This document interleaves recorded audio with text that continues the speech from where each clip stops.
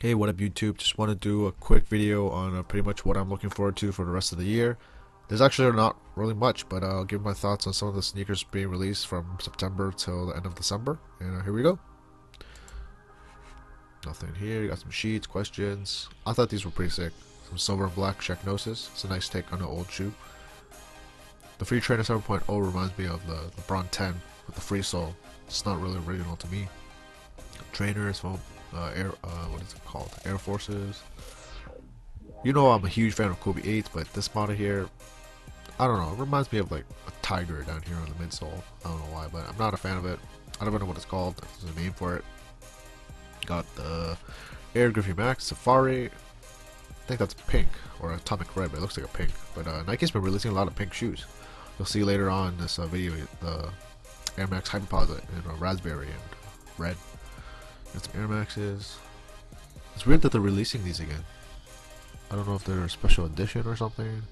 Tape pack. I don't know what that means. Uh, Air Jordan 1. The Hawks. That's pretty sick colorway. But uh, a lot of people are sleeping on it. So it's good for some people.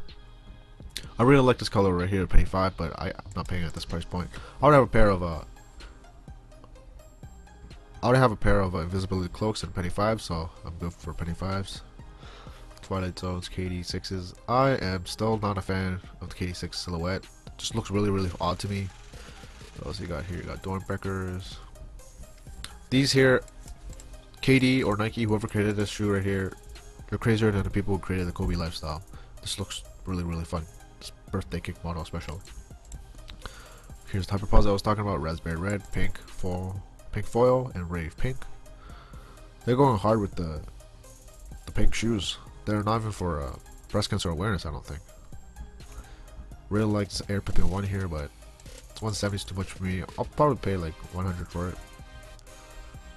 Air Forces, Son of Mars, Hype Roshis, Hyperfuse models. I don't know what's up with this. You guys let me know whether it's a really good shoe or really bad shoe. Well, according to Sole Collector people, 60%, 63% said yes. So I don't know. I, am not a fan of it. That's just too much uh, elephant print. Got the Air Jordan 28 here. I definitely really like this pair, the design of it. If it was like a lower cut of this, I'll definitely cop it. But 250, 250 steep. Got some uh, more Barkleys coming out. Surprising. These will definitely sell for some OG heads. Got a pair of Foamposites right here. I don't know what they're doing here. It just looks weird. I agree with this. It'll probably sit on shelves like the bright crimson, the sorry, the bright crimson uh, Foamposites. What else we got here? Fila's, pumps. I find this uh, to be a really, really odd colorway. The Bel Airs. Got the gloves, tens. The tens will definitely sell. Uh, I definitely want to get a pair of LeBron 11s. I love Lunarlon and I love full length zoom. And when you combine them both, I think you can go wrong with that. Should be the most cushioned shoe in LeBron, the, LeBron Sanctuary series ever. Definitely like the red more than the what is it called, the iguana, or sorry, the parachute gold colorway. Over. Got ladies, ladies will definitely fly. You got like a Dark Knight vibe to LeBron 11 right here, Armory Slate, Gamma Blue. Really like this colorway as well, but I think I like the black and red colorway a little bit more. Here's uh, the Air 25 again. I definitely like this colorway more than the Volt colorway. It's like a it says atomic red here, but it's similar to the bright crimson colorway to me.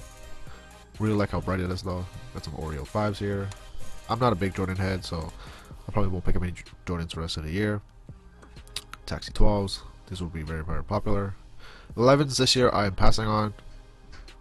I don't really like the colorway this year. I, I, I feel like they don't really match.